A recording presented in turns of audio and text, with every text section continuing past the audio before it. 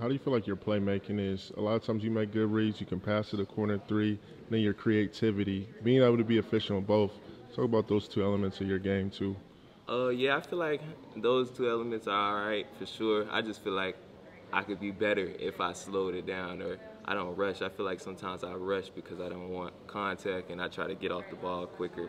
But I feel like once I learn how to slow down and like understand like how Jalen Brunson plays the game, but also adding mine into it, I feel like it'll be way easier because once you get to the NBA, that's the next step. Really just learning how to play real basketball and not rush and not get back and forth because you got to play 82 games.